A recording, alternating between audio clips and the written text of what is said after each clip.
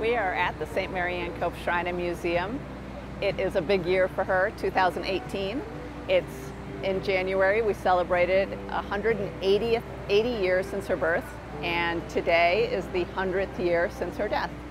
You know, always trying to find ways to make people aware of St. Marianne and bring them to the Shrine and Museum. So besides a Mass that's being held right now that we're broadcasting throughout the museum and out here into a tent, we also are having lunch and we have a food truck, we have Gannon's ice cream, we have live music playing after the Mass.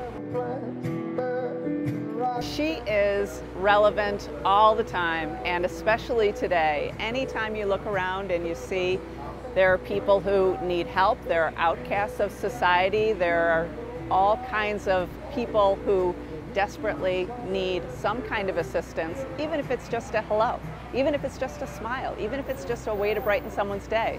And that's what she did and the sisters do throughout this 150 years. And I think she would approve of this.